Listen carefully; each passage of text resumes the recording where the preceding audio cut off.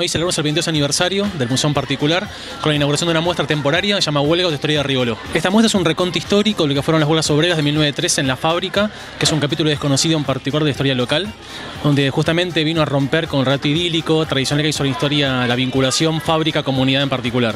En el desarrollo de la muestra están planteadas actividades dinámicas, como van a ser charlas y un pequeño ciclo de cine, vinculado con las luchas obreras. Desde el 27 de junio hasta el 26 de julio, de martes a viernes de 9 a 12 y de 14 a 17, sábados y domingos de 14 a 17 horas y siempre cuentan con un guía a cargo para que los acompañe. Participaron en el coro de niños de Gutiérrez y Versategui dando un marco festivo para el cierre del evento. Es el cumpleaños del museo y querían un número musical e invitaron al coro de niños.